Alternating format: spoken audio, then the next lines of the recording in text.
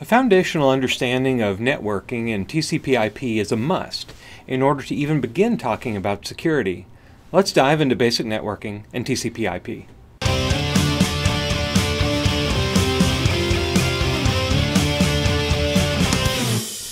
The OSI in the OSI model stands for the Open Systems Interconnect. This is a standard model that defines how open systems can communicate. The TCP/IP model forms a subset of the OSI model and represents a practical implementation of what the OSI model actually prescribes. The physical layer is responsible for actually moving the bits around in the form of electronic pulses over wires or via wireless radio waves. The link layer is responsible for transferring data between a pair of endpoints on the network and to detect errors at the physical layer. Ethernet's a common link layer protocol for wired communications, much like LTE is a standard for wireless cell data transfer. The network layer of the model is responsible for routing traffic beyond local area networks over the Internet. The transport layer is managed by TCP and UDP, the Transmission Control Protocol and User Datagram Protocol, respectively. TCP is a connection oriented protocol that ensures packet delivery. UDP is a connectionless protocol that is a best effort communication mechanism. The application layer provides protocols that exchange the actual payload data between useful programs such as browsers, email, servers, and web servers. Modern network topographies consist of core, distribution, and access layers. The core layer is a switching layer that moves data quickly in a LAN environment. Hanging off of the core switches, you typically have routers which segment IP networks. Within IP, those networks, uh, you have VLANs that partition off broadcast domains. And additionally, you also have wireless access points which are connected to the routers. These access points function at the access layer as well. In contrast to WANs or wide area networks, uh, which connect uh, these types of topologies over the internet. Now, WANs are often depicted as clouds, as the networks that are crossed include various third party networks, such as various telecom providers. So, with TCP/IP, there are many commonly used ports and protocols, and here on this screen you can see a list of some of these commonly used ports and protocols. And I'll walk through a few of these, and I encourage that you spend some time studying some of these ports and protocols from a memorization standpoint. SNMP is the Simple Network Management Protocol, and it's used by systems such as operating systems, switches, and routers to report uh, monitoring data, such as whether the system is up or down, and system log information. FTP is the file transfer protocol, and it's used for transmitting files over the internet. Port 21, you have um, secure FTP on port 22, and you notice that there are several protocols that use port 22. And so you can't have more than one service listening on the same port in a given operating system instance on uh, the same IP address. So something to keep in mind. Now SSH is used for Secure Shell, and Secure Shell is used to typically remotely administer uh, switches, routers, network devices, and um, Linux and Unix operating systems.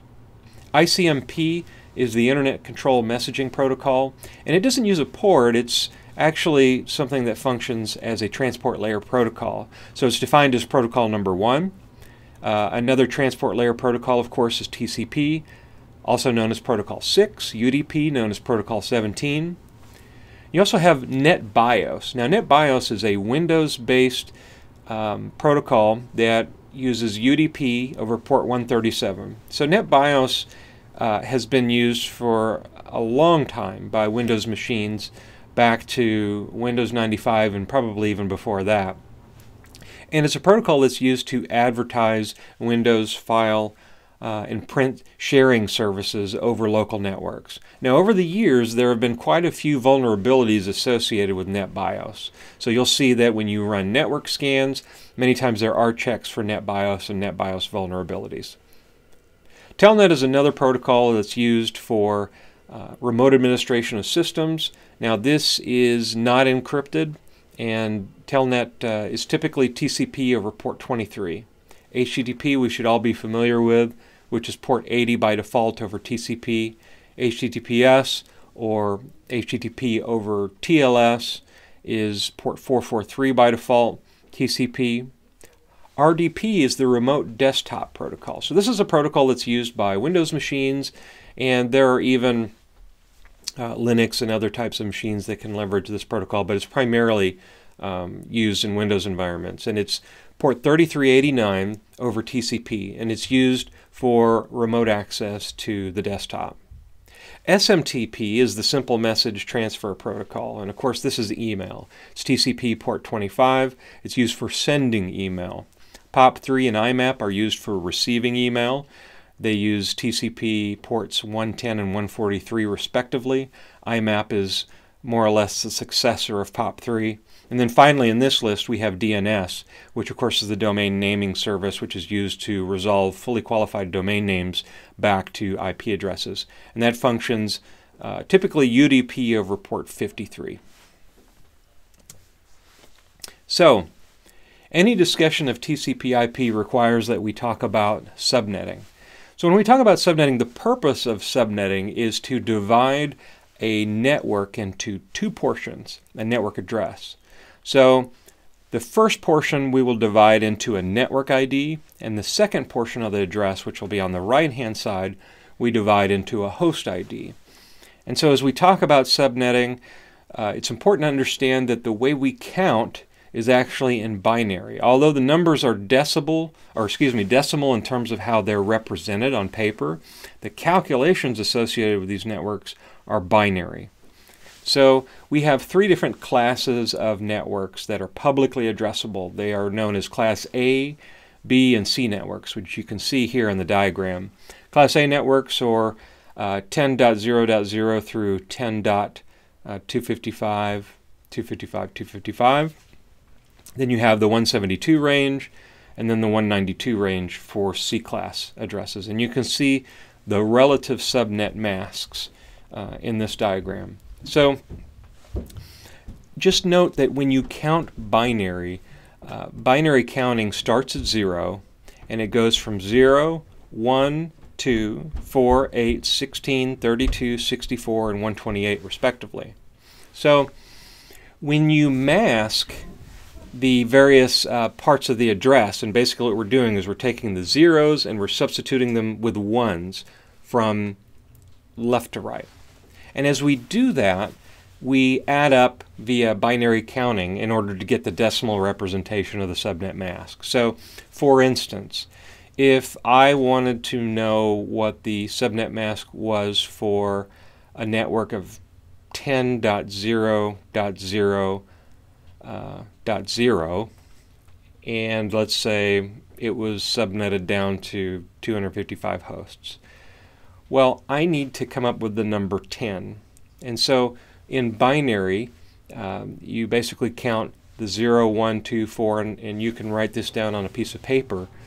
And you mask those numbers that add up to 10. So if you start with 0, well, that's obviously nothing. Um, and then 1 and then the 2, so that's 3, and then the 4 is the next number, so that's 7. Now the challenge here is, is that that doesn't really work because the next number is 8, so you'd have 15. So you have to pick a combination of those numbers that will add up to 10. In this case, we can mask the 0. Um, we would not mask the 1. We would mask with a binary 1, the 2. We would not mask the 4. And we would mask the 8. And so 8 plus 2 obviously is 10. So this is how binary counting works. And I suggest and recommend that you spend some time studying binary counting and more detailed information about how you split out network addresses and network IDs from host IDs. But it's important to understand these concepts. Now, to make things even more complex, um, the numbering scheme for TCP IP which has been version 4, um, is now translating into IP version 6, which is counted in hexadecimal. But uh, many of the exams that uh, you will encounter at this point in terms of certification and testing will still typically cover uh, binary IP addressing and network IDs. So NAT is network address translation. And so Network Address Translation is a protocol that is used to essentially hide private networks uh, or even networks that are using publicly routable addresses uh, behind an IP. And so initially this was used to do things such as conserve and preserve um, TCP IP version 4 address spaces. And so it's really a methodology of remapping one IP address space into another by modifying the network address information in the IP datagram packet headers while they're in transit across a traffic routing device. The immediate benefit of NAT is that it allows a single internet connection with a single IP address to be shared. The technique, as I mentioned, was really for rerouting traffic in IP networks without having to renumber every host.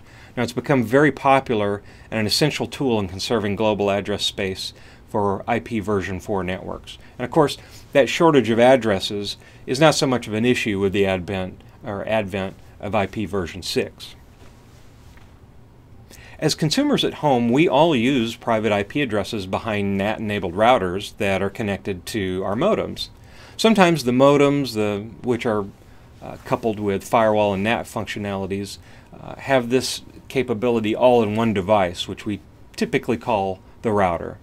Now with NAT, all commu communications that are sent to external hosts actually contain the external IP address and port information of the NAT device instead of the internal host IP addresses or port numbers. Now when a computer on the private network sends an IP version 4 packet to the external network, the NAT device replaces the internal IP address in the source field of the packet um, with the sender's address, eh, which is the sender's address, with the external IP address of the NAT device. Now, port address translation, or PAT, may then assign the connection a port number from a pool of available ports, inserting this port number in the source field, much like the post office box number. And it forwards the packet to the external network. The NAT device then makes an entry in a translation table containing the internal IP address, the original source port, and the translated source port. So this is key. Subsequent packets from the same connection and that are responding back to the same connection are translated to the same port number. The computer receiving a packet that's undergone NAT establishes a connection to the port and IP address that's specified in the altered packet it's oblivious to the fact that the supplied address is being translated. So going further with the post office analogy, it could be analogous to using a post office box number instead of your home address. A packet coming from the external network is mapped to a corresponding internal IP address and port number from the translation table. It in turn replaces the external IP address and port number in the incoming packet header, which once again, is similar to the translation from a post office box number to your street address. The packet's then forwarded over the inside network. Otherwise, if the destination port number of the incoming packet isn't found in the translation table, the packet's dropped or rejected because the port address translation functionality of the NAT device doesn't know where to send it. NAT only translates IP addresses and ports of its internal hosts, hiding the true endpoint of an internal host on a private network.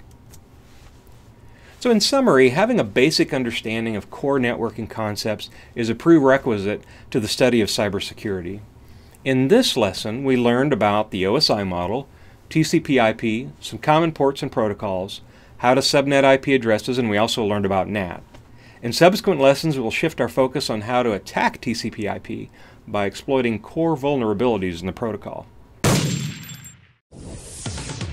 Click on the webofsecurity.com link for the latest in cybersecurity news, test prep materials, including sample test questions, flashcards, ebooks, hands-on labs, study notes, and special offers for newly released cybersecurity training content.